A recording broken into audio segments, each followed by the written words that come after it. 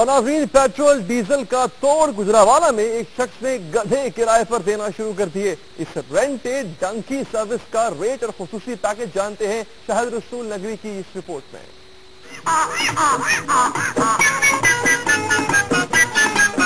میرا گدھا گدھوں کا لیڈر میرا گدھا گدھوں کا لیڈر۔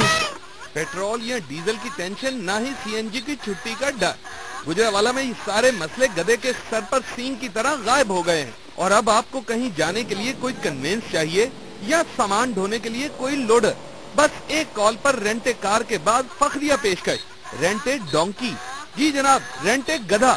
اور وہ بھی دس روپے فی گھنٹہ پر۔ گدے کرائے پر دینے کا با کمال اور سستا آئیڈیا نکالا ہے لیاقت علی نے۔ جی سو گدا میرا۔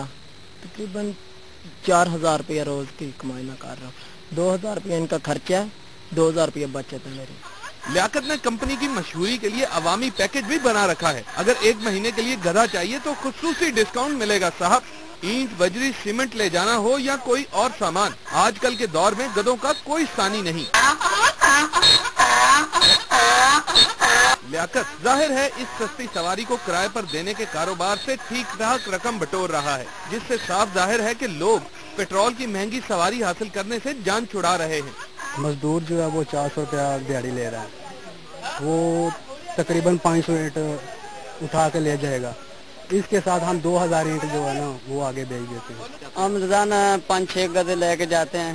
گلیوں میں بجری، سیمنٹ، ریت، یہ تنگ گلیاں ہیں جو جہاں پہ ٹریکٹر ٹروکٹر نہیں جاتا۔ وہاں پہ یہ ہم گدے میں لوڈ کر کے کام کر رہے ہیں۔